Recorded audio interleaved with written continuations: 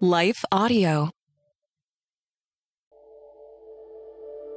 Merry Christmas, listeners. My name is Chara Donahue, and this is The Bible Never Said That. On this podcast, we talk about popular sayings that make their way through culture and the church, but are biblically inaccurate. For this year's Christmas series, we are specifically looking at The Bible Never Said That, even if Christmas songs do. So we are looking at songs and song lyrics that either are completely theologically wrong or could be deemed controversial. I was going to cover the three kings and discuss how they didn't arrive the night Jesus was born, and that though there were three gifts, we aren't sure there were only three wise men. But then, as I was listening to my Christmas music station and Judy Garland's voice began to sing, Have Yourself a Merry Little Christmas, a new plan was made. As her satiny voice laid out the lyrics, I found myself thinking, what a big fat lie. So, here we are, discussing the lines of Have Yourself a Merry Little Christmas.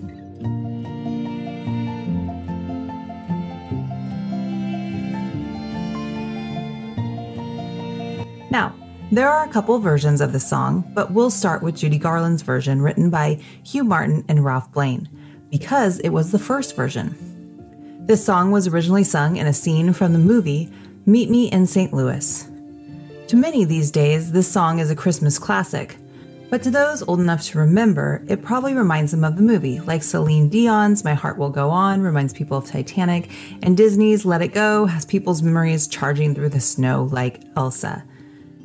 Garland's character, Esther, was comforting Tootie, her younger sister, with this song because the family was being forced to move from St. Louis to New York. And she sings, Have yourself a merry little Christmas. Let your heart be light. Next year, all our troubles will be out of sight. Have yourself a merry little Christmas. Make the Yuletide gay. Next year, all our troubles will be miles away. Once again, as in olden days, happy golden days of yore, faithful friends who are dear to us will be near to us once more. Someday soon we all will be together, if the fates allow. Until then, we'll have to muddle through somehow. So have yourself a merry little Christmas now. It's sweet. So, what's out of line theologically with this song? Well, it's the false hope placed in the potential that the future holds, but is never guaranteed. Next year, all our troubles will be out of sight. Next year, all our troubles will be miles away. The updated version doesn't even delay the cessation of trouble. It says, from now on, our troubles will be out of sight. Or from now on, our troubles will be miles away. Unfortunately, nope, the Bible doesn't say that.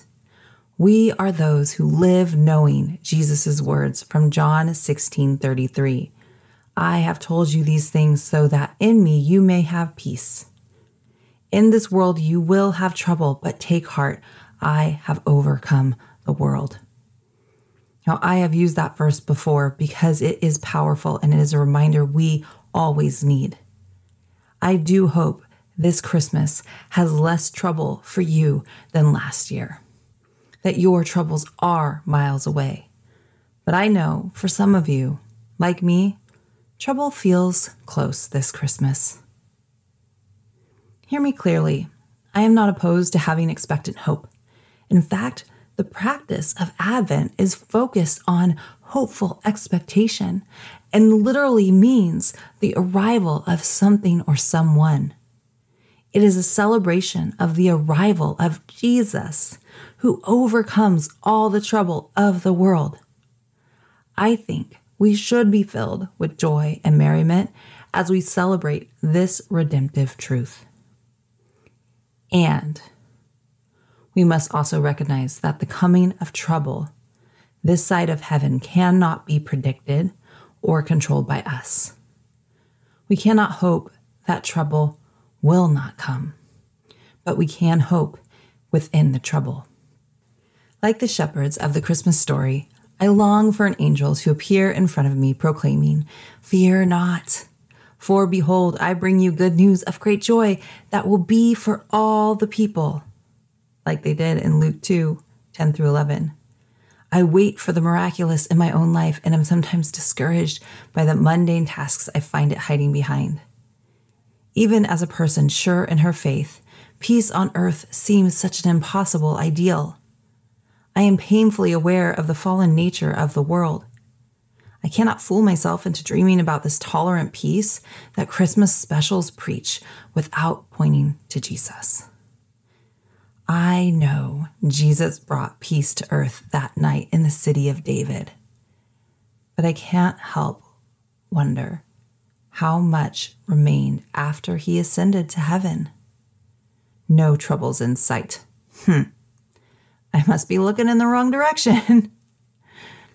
Whether buried in a pillow or fixed on Netflix, the troubles are only obscured and temporarily forgotten.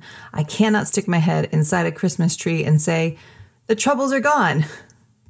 The good news is that Jesus' presence through the Holy Spirit provides rest for all that seek him and salvation for those he calls his own. And yet, peace seems elusive. Rumors of wars, racial injustice, plagues, and any other unspeakable terror that taunts our daily existence we are still assured of peace within our souls because of our Savior. But peace on earth, it just seems so far away. Jesus told us in John 14, 3, Let not your hearts be troubled. Believe in God, believe also in me. In my Father's house are many rooms. If it were not so, would I have told you that I go to prepare a place for you? I will come again and will take you to myself, that where I am, you may be also. We don't have to let our hearts be troubled, but that doesn't mean we won't encounter problems. What a relief that we are promised peace in its fullness is coming to earth once more. And Jesus has made room for us to join him. This anticipation, this wondering what life will look like next year, and this falling asleep begging God to move all point me to that baby in the manger who grew to be the Savior on the cross. Seeing him gives me the strength to engage in moving towards peace by praying for patience and holding tight to his word, as carols, true or false, hang in December's crisp air.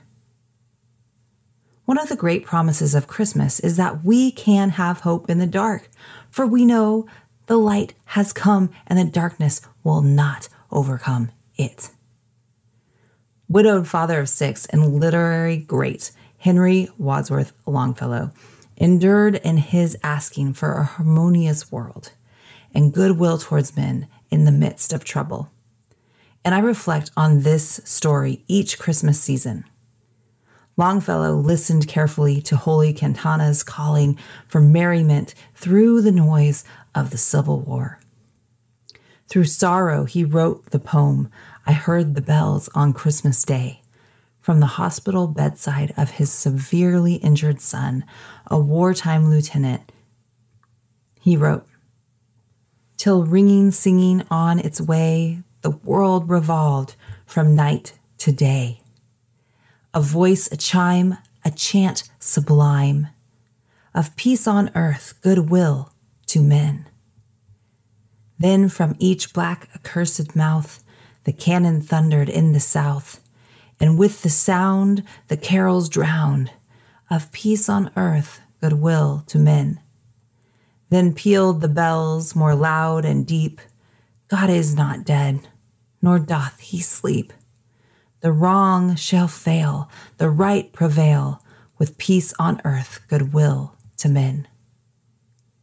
When the heaviness of the world presses in, like Longfellow, we can turn to the mighty promises of the living God for strength. He cannot be shaken. so we are emboldened to face whatever trouble might come our way.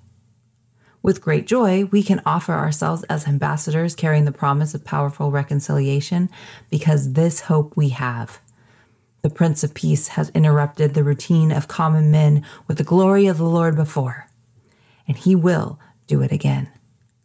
Just because we have trouble wrapping our minds around what this will look like doesn't keep it from being true.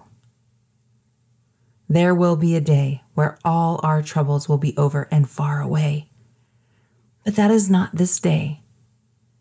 But He is always our sustainer. What's interesting is the original lyrics to Have Yourself a Merry Little Christmas were actually different. Maddy Shaw Roberts reported that the song's lyrics, as dreamed up by Martin and Blane, evoked a very different Christmas feeling. They said, have yourself a merry little Christmas. It may be your last. Next year, we may all be living in the past. Now, Garland objected to the lyrics, Shaw says, apparently saying they were too depressing. And if she were to sing them, Margaret will cry and they'll think I'm a monster. Eager to please their leading lady, Hollywood executives requested a rewrite. They said, no, no, no. It's a sad scene, but we want sort of an upbeat song, which will make it even sadder if she's smiling through her tears, Martin said. Gosh, those lyrics are a bit of a downer. But hey, those ones are true.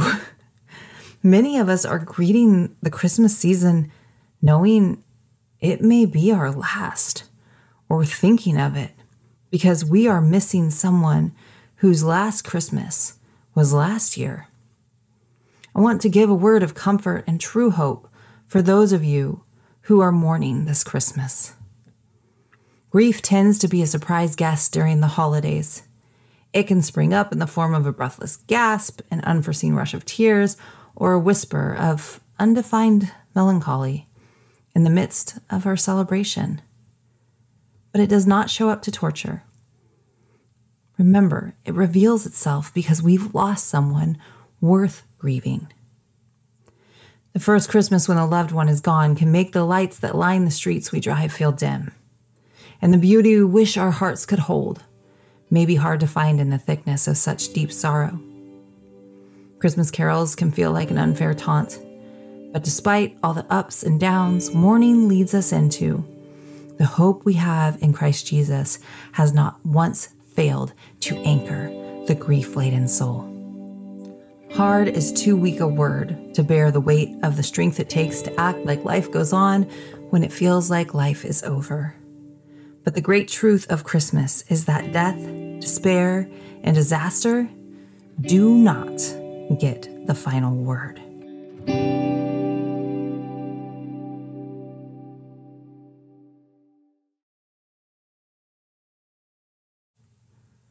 Luke tells us the angels declared, A Savior has been born to you. Jesus is a Savior for the heartsick. He is a Savior for the lost. He is a Savior for the mourning. This is Jesus, a Savior for us all we can take every thought and emotion that tells us we are alone and let it be tended to by the truth we celebrate at Christmas. The Virgin Mary conceived and gave birth to a son, and we call him Emmanuel, which means God with us. As Matthew 123 teaches. God is with us. When denial, anger, and depression try to close in, we remember Psalm 34:18. The Lord is close to the brokenhearted and saves those who are crushed in spirit. It takes a step of faith to believe in this closeness, but it is there. God is with us. Throughout Scripture, God reminds us that what we have hoped for is true, real, and sweetly ours. In Zephaniah 3:17, he soothes the places within us that feel forsaken with these words. The Lord your God is with you, the mighty warrior who saves. He will take great delight in you. In his love, he will no longer rebuke you, but will rejoice over you with singing. For those who have lost but still put up the tree, wrap the presents and cook the meal, even though you know your precious one will be missing. May your courage be bolstered by knowing that God is with you. To those who are in the midst of so much trouble that you just couldn't do it this year, it's okay. Really. When we are too weary to fill a table because the shadow of death lingers, the great news is that Psalm 23 tells us Jesus prepares one before us. Take comfort in knowing that God is with you. I do hope, dear listeners, that your Christmas is merry. Merry because of the hope that comes through Jesus and makes our hearts light. God is with us. And for those in Christ, that will always be our reality in trouble or in peace.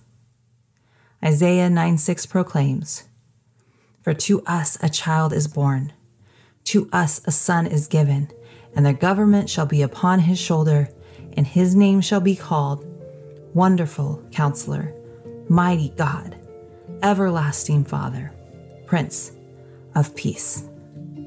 Will you pray with me? Oh, Jesus, come.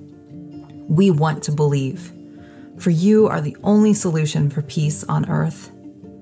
Help us when we are in trouble and when we are merry, to see you clearly all our days. To recognize that our blessings and our help come from you and your truths can't be shaken. Please comfort those who are mourning a loved one or in trouble this Christmas. Counsel them and surround them with people who will offer good and true help. Lord, help us to see you and honor you through this Christmas season. And please bless us with a joy filled, hopeful Christmas in the midst of whatever we are experiencing. And it's in your name we pray. Amen.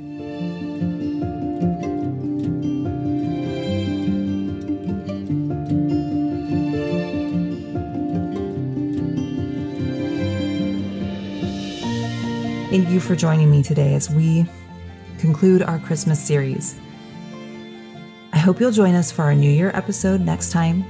And the verses, song, and articles referred to during this episode can be found in the show notes at lifeaudio.com slash podcast or on iTunes.